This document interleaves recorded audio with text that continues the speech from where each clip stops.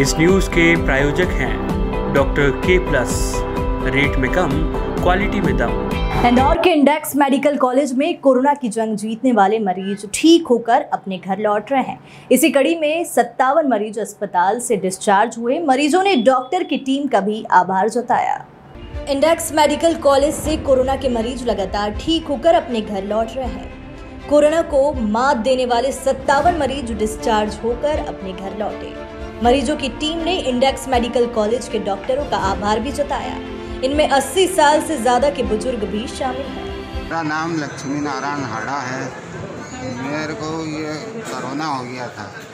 Index में इलाज हुआ बहुत बढ़िया हुआ इलाज और आज मैं स्वस्थ हूँ। इस दौरान इंडेक्स मेडिकल कॉलेज की टीम ने भी मरीजों का हौसला बढ़ाया। Bureau report Vande Bharat news.